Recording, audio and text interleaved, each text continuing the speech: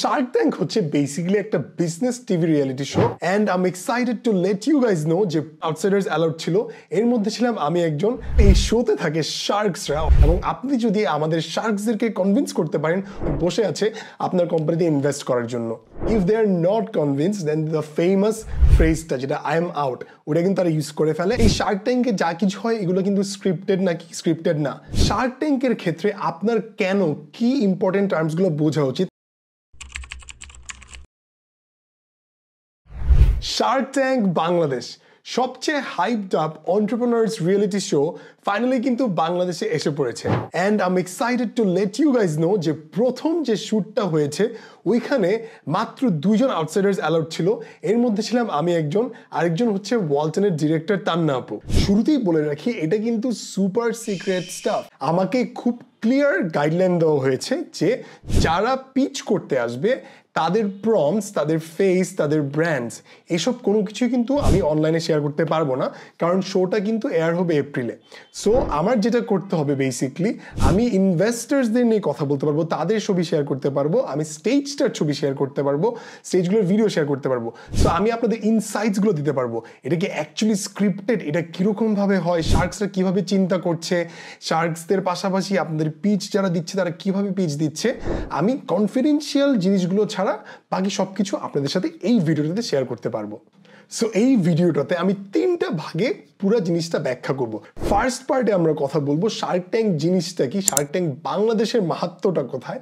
এবং কেন বাংলাদেশের ইকোনমির জন্য এটা তো ইম্পর্টেন্ট সেকেন্ড পার্টে আমরা কথা বলব আমাদের শার্কসরা কে কে এবং শার্কসদেরকে সনি থেকে কীভাবে গাইডলাইন্স দেওয়া হয়েছে?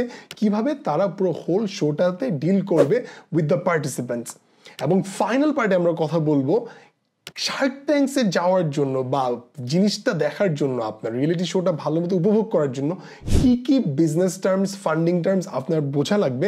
সো হয়তো probably the most important part is the third part so এই ভিডিওটাতে আমরা সব কিছুই একসাথে ডিল করব। অ্যান্ড আমি শিওর এই ভিডিওটি পুরোটা দেখার পরে আপনিও কিন্তু শার্ক ট্যাঙ্ক নিয়ে অনেক হাইপড আপ থাকবেন এবং এক্সাইটেড থাকবেন শোটাকে ভালো মতো এনজয় করার জন্য। সো চলুন আমরা ঢুকে পড়ি শার্ক ট্যাঙ্কে সো শার্ক ট্যাঙ্ক হচ্ছে বেসিক্যালি একটা বিজনেস টিভি রিয়েলিটি শো যেটা প্রথম এয়ার হয়েছিল টু থাউজেন্ড নাইনে ইউএসএতে অ্যান্ড শুটিং এর দিনে শার্কসরা এবং আমি যা জানতে পেরেছি আর্চ টাইসন থেকে whose basically the senior production consultant of Sony Pictures সে যেটা বলেছে ফার্স্টে শার্ক ট্যাঙ্ক কিন্তু এয়ার্ড হয়েছিল জাপানে ড্রাগনস ডেন নামে। পরে এটা কিন্তু নাম চেঞ্জ করে শার্ক ট্যাঙ্ক হয় ইউএসএতে অ্যান্ড এরপর ওয়ার্ল্ড ওয়াইড একটা রিকগনিশন পায়। সো বেসিক্যালি এই শোতে থাকে শার্কসরা অর্থাৎ হাঙ্গররা থাকে, যাদের কাছে বিভিন্ন টাইপের বিজনেসম্যানরা এসে তাদের বিজনেস আইডিয়া অথবা কোনো কারেন্ট রানিং বিজনেস পিচ করে থ্রু আ প্রেজেন্টেশন অথবা তাদের প্রোডাক্ট শোকেসিং করে, এরপর শার্কসরা ডিসাইড করে ওই বিজনেসে তারা ইনভেস্ট করবে নাকি করবে না। সো আপনার যদি একটা ভালো বিজনেস আইডিয়া থাকে অথবা একটা কারেন্ট রানিং বিজনেস থাকে উইথ গ্রেট পটেন্সিয়াল এবং আপনি যদি আমাদের শার্কসদেরকে কনভিন্স করতে পারেন, ওনারা কিন্তু লাখ লাখ কোটি টাকা এবং তাদের বুদ্ধিমত্তা নিয়ে বসে আছে আপনার কোম্পানিতে ইনভেস্ট করার জন্য। অ্যান্ড আমরা যারা শার্ক ট্যাঙ্ক ইউএসএ দেখেছি, সেখানে কিন্তু কেভিন ও লিরি এবং বারবারের মতো স্ট্রং জাজেস থাকে, যারা কিন্তু যারা পিচ করতে আসে, তাদেরকে ভালোই একটা উত্তম মাধ্যম দেয় উইথ দেয়ার ওয়ার্ডস এবং আমরা কিন্তু অনেক নমিনাল ভালো শার্কসও দেখে থাকি, যারা একটু kind not like great white sharks and আমি শিওর আমাদের প্যানেল অফ শার্কস থেকেই কিন্তু এরকম বিভিন্ন ক্যারেক্টার্স বের হয়ে আসবে। রাগি শার্কস ভালো শার্কস দরদি শার্কস এরকম বিভিন্ন টাইপের ক্যারেক্টার্স কিন্তু আমরাও পাবো আমাদের বাংলাদেশি শার্কসদের কাছ থেকে।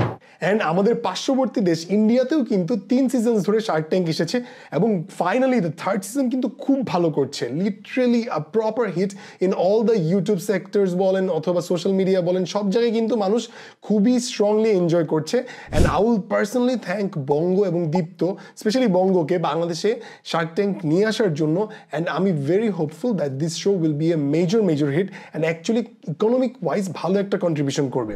এখানে যারা শার্কসরা আছে, তাদেরকে আমার পার্সোনালি চেনার সৌভাগ্য হয়েছে। ফার্স্টলি আছে আমাদের সামি আহমেদ আমরা সবাই হয়তো সামি ভাইকে চিনি স্টার্ট আপ বাংলাদেশ থেকে বিকজ স্টার্ট আপ বাংলাদেশ হচ্ছে বাংলাদেশের only government funded venture capitalist firm so Sami ভাই তো আছেই। এর পাশাপাশি আছে আমার খুবই ক্লোজ আমার খুব প্রিয় গোলাম মুর্শিদ ভাই, যে ওয়ালটনের এক্স ম্যানেজিং ডিরেক্টর ছিল। এবং এখন উনি কাজ করছে ম্যাজিস্ট্রের সাথে ফুয়েল এক্সের সাথে। আরও আছে মাহবুব ভাই, রবির আর ভেঞ্চার্স থেকে। মাহবুব ভাই is a very calm collected guy এর পাশাপাশি আছে অ্যাডকমের আমাদের সবার প্রিয় ফারহান ভাই। ফারহান ভাই is a proper character and আমি এক্সাইটেড টু সি ফারহান ভাই শার্ক ট্যাঙ্কে একটা ইন্টারেস্টিং ইন্টারেস্টিং শার্ক হবে। অ্যান্ড দেন সবার প্রিয় বিডি জবসের ফাহিম মাসুর ভাই তো আছেই। ফাহিম মাসুর ভাই কিন্তু উনি বেসিক্যালি আমাকে বলেছেন লিঙ্কডিনে he is the most followed guy not the most followed in Bangladesh because apparently Rubaba Apu has more followers than him in LinkedIn. এবং এর পাশাপাশি আছে আহমেদ আলী ভাই ফ্রম তিস্তা টেক এবং সামানজার আপু from AKS Khan holdings Samanjar আপু থাকাতে ভালো হয়েছে। There is a female representation আমি যেদিন ছিলাম, সেখানে কিন্তু নাভিন আপু ছিল গেস্ট শার্ক হিসেবে। So it's fantastic the fact that there is a female representation amongst the sharks as well so প্রথমে আমি কথা বলি, আমাদের সবার মনের মধ্যে যে প্রশ্নটা আছে, এই শার্ক ট্যাঙ্কে যা কিছু হয়, এগুলো কিন্তু স্ক্রিপ্টেড নাকি স্ক্রিপ্টেড না? আমার উত্তর হচ্ছে because I was there the whole time I can guarantee you it's not scripted শার্কসরা pitch সম্পর্কে তাদের কোনো আইডিয়াই থাকে না, তারা ওইখানেই ফার্স্ট টাইমের মতো কিন্তু তারা পিচটা শুনে। পিচটা হয় কিন্তু তিন মিনিটের and it can extends up to forty five minutes যেখানে শার্কসরা কিন্তু যারা পিচ দিচ্ছে, তাদেরকে বিভিন্ন ধরনের প্রশ্ন করতে পারে, এবং এগুলো কিন্তু সব ফার্স্ট টাইম মানে বেসিকলি প্রথমবারের মতো পিচটা শুনেই কিন্তু শার্কসরা ডিসাইড করবে যে ওদের দেখেন ইনভেস্টর নট এবং তাদের মধ্যে যে, এই যে তাদের মধ্যে যে কনভারসেশনসগুলো হবে অল্টারকেশনসগুলো হবে, এগুলো কিন্তু সব রিয়েল নাথিং ইজ স্ক্রিপ্টেড এবং তারা কিন্তু অন টাইম এবং অন পয়েন্টে ডিসাইড করবে whether they're invest or not এবং এগুলো কিন্তু সব কিছু অন মোমেন্ট হয়। মানে কোনো কিছুই কিন্তু স্ক্রিপ্টেড না। শুধুমাত্র পিচটা হয়তো অনেকবার প্র্যাকটিস করে আসা হয়, তারা নিজেদের মতো করে। শার্কসরা কিন্তু কমপ্লিটলি আনঅ্যাওয়ার এখানে কারা কারা আসছে, কোথা থেকে আসছে কোম্পানিগুলোর নাম কি, তাদের ব্যবসা কি, তারা কি টাইপের টাকা পয়সা চাবে? So that is the rule so কোনো টাইপের শার্কসদের কিন্তু আইডিয়া থাকে না কারা এখানে আসছে। অ্যান্ড আর্চ ফ্রম সনি সে যেটা বলেছে, এই রিয়েলনেসটার কারণেই কিন্তু শোটা ওয়ার্ল্ড ওয়াইড এত পপুলার হয়েছে। কারণ শার্কসদের জন্য এটা কিন্তু একটা এক্সাইটিং ব্যাপার। They get to know a new business and they actually invest কারণ আপনি যখন একটা পিচ শোনার পরে you think it's a good business idea আপনার কিন্তু একটা প্লেজের মতো হচ্ছে। Because when you are accepting an offer আপনি কিছু একটা বলছেন, আপনার কিন্তু বেসিকলি ওই বিজনেসটাতে পরে ডিউ ডিলিজেন্স করার পর আপনার কিন্তু ইনভেস্ট করতে হয়। So the whole thing is absolutely real and it's very exciting এরপরে আমরা কথা বলি শার্ক ট্যাঙ্কের স্টেজটা নিয়ে। I will say Deepto and Bongo did a fantastic job it comes the glamour of the stage আমরা কিন্তু ইন্ডিয়ার স্পেশালি থার্ড সিজন দেখার পরে আমার একটু একটু ভয় ছিল যে অ্যাকচুয়ালি কি বাংলাদেশ ম্যাচ করতে পারবে নাকি। সো স্টেজটা কিন্তু অ্যাকচুয়ালি অনেক grand there is this huge door which opens up ডোরটা খুলে এবং প্রথমবারের মতো কিন্তু যে বিজনেস আইডিয়া নিয়ে যে পিচটা দিতে আসছে, তাদেরকে আমরা দেখতে পাই।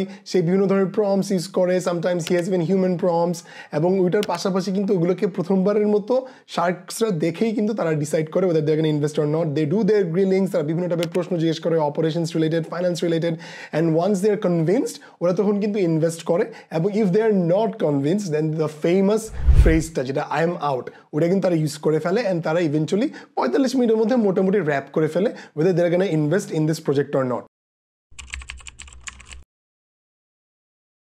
এবার আসি আমাদের ফাইনাল স্টেজে শার্ক ট্যাঙ্কের ক্ষেত্রে আপনার কেন কি ইম্পর্টেন্ট টার্মসগুলো বোঝা উচিত?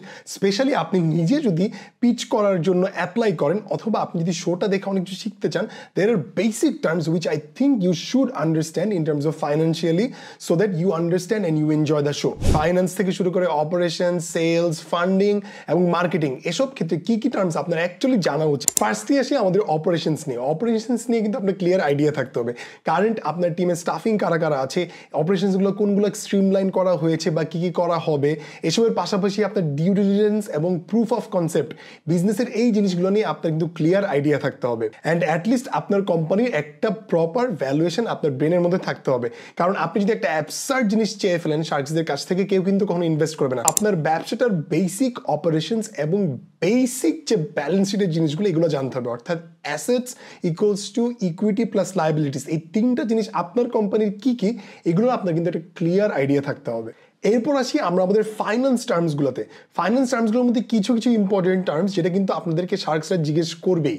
এবং আপনি যদি একজন দর্শক হন, তখনও কিন্তু এই জিনিসগুলো আপনার বোঝা খুব গুরুত্বপূর্ণ। যেমন ধরেন ক্যাশ ফ্লো ক্যাশ ফ্লো হচ্ছে net amount of monetary capital that is transferred into and out of a business cash flow যদি ইনওয়ার্ডস হয়, অর্থাৎ ভিতর থেকে বিজনেসটা রিসিভ করে, তখন এটাকে আমরা বলি ইনফ্লো আর ক্যাশ যদি আপনার বিভিন্ন ধরনের ইউটিলিটিসের ক্ষেত্রে বিভিন্ন যখন আপনি স্পেন্ড করেন, ওইটাকে আমরা বলি আউটফ্লো কারণ শার্কসদের আলটিমেট গোল কিন্তু plenty of free cash flow which is আপনার প্রফিটেবিলিটির মাত্রা বিয়ন্ড নন ক্যাশ এক্সপেন্সেস এরপর কিন্তু আপনার গ্রস সম্পর্কে জানতে হবে। গ্রস ইজ বেসিকলি আপনার বিজনেস টোটাল যেটা আর্ন করতেছে before any major capital deduction অর্থাৎ ট্যাক্স অথবা আপনার ইন্টারেস্ট এসব সব কিছু দেওয়ার আগে আপনার কোম্পানি টোটাল যেটা বানাচ্ছে সেটাকে বলা হয় গ্রস এরপর আমরা আসি নেট ইনকাম অথবা নেট আর্নিংস নিয়ে। অ্যান্ড এইটা বেসিক্যালি আপনার সেলস থেকে মাইনাস করতে হবে cost of operating expenses interest এবং ডেপ্রিসিয়েশন এটসেট্রা কিন্তু মাইনাস করতে হবে আপনার টোটাল অ্যামাউন্ট অফ সেলস থেকে। অ্যান্ড আপনার আরও জানতে হবে মার্জিন সম্পর্কে। অ্যান্ড মার্জিন হচ্ছে আপনার amount of the total value of the investment minus the loan যেটা বিজনেসটা এখন পর্যন্ত নিয়েছে। অ্যান্ড ক্যাপিটাল মানে তো আমরা জানি anything that offers value tangible এবং ইনট্যাঞ্জিবল ক্ষেত্রে সেটাকে আমরা ক্যাপিটাল বলি। অফকোর্স ক্যাপিটালের ক্ষেত্রে ক্যাশ তো আছে এর পাশাপাশি কিন্তু যেমন ধরেন ম্যানুফ্যাকচারিং হতে পারে, বিভিন্ন ধরনের এসেটও কিন্তু আমরা ক্যাপিটালের আন্ডারে কাউন্ট করি। Factories manufacturing parts patents etcetera ফাইন্যান্সের ক্ষেত্রে আপনার কিন্তু আরও বোঝা উচিত ওভারহেড এবং স্টেক সম্পর্কে। সো বিজনেস ওভারহেড হচ্ছে বেসিক্যালি আপনার বিজনেস এক্সপেন্সেস অথবা আপনার বিজনেসের যে খরচগুলো হচ্ছে, যেগুলো আপনার প্রোডাক্টটা বানানোর জন্য হচ্ছে না, অন্য কারণে হচ্ছে। সো বা সার্ভিসের জন্য হচ্ছে না বা প্রোডাক্টটার জন্য হচ্ছে না। সো এগুলোকে বলে বিজনেস ওভারহেড আর স্টেক মানে তো আমরা জানি, একটা কোম্পানির ইকুইটি বা শেয়ারসের ক্ষেত্রে কে কতটুকু ওন করে, এটাকে বলে হচ্ছে স্টেক আপনি ছাড়া অন্যান্য অনেকে যদি বিজনেস রান করে, তাদের পার্সেন্টেজ কত, এগুলো সম্পর্কে কিন্তু আপনার একটা ক্লিয়ার আইডিয়া থাকতে হবে। এরপর আসি আমরা আমাদের ফান্ডিং এর ক্ষেত্রে। ফান্ডিং এর ক্ষেত্রে আমরা সবাই হয়তো ইকুইটির নাম শুনেছি। ইকুইটি হচ্ছে বেসিকলি আপনার কোম্পানির সব অ্যাসেট ক্যাশ এবং যা যা আছে সব কিছু বেচে দিয়ে আপনি যে অ্যামাউন্টটা আশা করেন, এটাকে বলে হচ্ছে equity it's the money the shareholders would expect back after selling all its assets এবং কোম্পানির যা ক্যাশ আছে, ওটাকে আমরা বলব ইকুইটি অ্যান্ড আরেকটু ডিপে যেতে হলে আমাদের হয়তো কথা বলতে হবে অ্যাডভাইজারি শেয়ার্স নিয়ে pre money post money seed round এগুলো নিয়েও হয়তো আমরা একটা আলাদা পুরো ভিডিও বানিয়ে ফেলতে এরপর আসি আমরা মার্কেটিং এর ক্ষেত্রে। মার্কেটিং কিন্তু একটা সহজবোধ্য জিনিস। আমরা যারাই বিজনেস করি, কিছু না কিছু এর মধ্যে বুঝি আমরা। বাট মার্কেটিং এর ক্ষেত্রে দুইটা জিনিস আমার মনে হয় আপনার জানা অত্যন্ত গুরুত্বপূর্ণ। If you're someone who's pitching to the shark একটা হচ্ছে আপনার কাস্টমার অ্যাকুইজিশন কস্ট কত প্লাস হচ্ছে আপনার টার্গেট কাস্টমার্স কারা। এই দুইটা জিনিস নিয়ে কিন্তু আপনার ক্লিয়ার আইডিয়া দরকার when it comes to marketing and customer অ্যাকুইজিশনের ক্ষেত্রে ইটস নট অ্যাবাউট জাস্ট শুরুতে আপনি কতজন কাস্টমারকে নিতে পারলেন, এটার জন্য কস্টিং কত হইল। আপনার কিন্তু রিটেনশনও মাথায় রাখতে হবে। অর্থাৎ আপনার শুরুতে একশো জন কাস্টমার্সের থাকার পরে কতজন আপনার প্রোডাক্টটা সেকেন্ড টাইম কিনতেছে বা মান্থলি কিনতেছে বা এক বছর ধরে আপনি কতজন ধরে রাখতে পারতেছেন, এই জিনিসগুলো কিন্তু important data for the sharks to consider whether they're invest or not সেলসের ক্ষেত্রে আপনার retail price wholesale price purchase order line of credit এইগুলো সম্পর্কে আপনার সব কিছু লিটারালি মুখস্থ থাকতে হবে। লাইন অফ ক্রেডিট হচ্ছে বেসিক্যালি যারা ইউজার্স তাদের borrowing limit for a certain product or service অর্থাৎ ইউজার্সরা কতক্ষণ পর্যন্ত they can use their credit without them having to pay anything যতক্ষণ পর্যন্ত তাদের লিমিটটা রিচ করতেছে। অ্যান্ড যখন ইউজার্সরা তাদের লিমিট পে করতেছে they can use the product again অথবা সার্ভিসটা কিন্তু আবার ইউজ করতেছে। সো এই লাইন অফ ক্রেডিট কনসেপ্টটা কিন্তু আপনার বুঝতে হবে। আপনার কোনো ব্যাংকের সাথে কোনো রিলেশন আছে নাকি? আপনার কোনো এনবিএফআই আপনার সাথে কানেক্টেড আছে নাকি? এগুলোর সাথে আপনার কমপ্লিট একটা গাইডেন্স দিতে হবে, পরে যেন আপনার ডিলটা হয়ে যাওয়ার পরে কোনো ধরনের কনফিউশন ক্রিয়েট না করে সো আমি কিন্তু পুরো শোটা দেখে আই ওয়াজ ভেরি ইন্সপায়ার্ড এবং আমি কিন্তু খুবই হোপফুল যে বাংলাদেশে শার্ক ট্যাঙ্ক কিন্তু একটা মেজর পজিটিভ এফেক্ট ফেলবে। যদি বঙ্গ এবং দীপ্ত সাকসেসফুল হয়, এটাকে মেইন স্ট্রিম করার ক্ষেত্রে, তাহলে কিন্তু আমার মনে হয় বাংলাদেশের সবাই ইভেন ঘরে ঘরে আস্তে আস্তে উদ্যোক্তা তৈরি হবে। They will know the terms how a business work as a result দেশের জন্য কিন্তু এটা একটা ভালো জিনিস হবে, একটা ইকোনমিক বুম হবে। যারা যারা ইনভলভ এই শোজে আমি তাদের সবাইকে যতদূর দেখেছি, আমার খুবই ভালো লেগেছে। সো আপনারা যারা এতক্ষণ দেখেছেন প্লিজ একটি কমেন্ট করে জানিয়ে দিন, আপনারা শার্ক ট্যাঙ্ক নিয়ে কীরকম এক্সাইটেড বা আপনাদের মতামত কি whether it's positive or negative and আমরা হয়তো আরেকটা ভিডিওতে অন্যান্য বিভিন্ন জিনিস নিয়ে, যেগুলো আমি এখানে এক্সপ্লেন করতে পারি নাই, এসব নিয়ে কথা বলব অ্যান্ড হয়তো যখন শার্ক ট্যাঙ্ক এয়ার করা স্টার্ট হবে, তখনও হয়তো আমি কয়েকবার যেয়ে আমি আপনাদেরকে আরও বিভিন্ন ধরনের ইনসাইটস দিতে পারব। So thank you very much for watching take care আসসালামু আলাইকুম।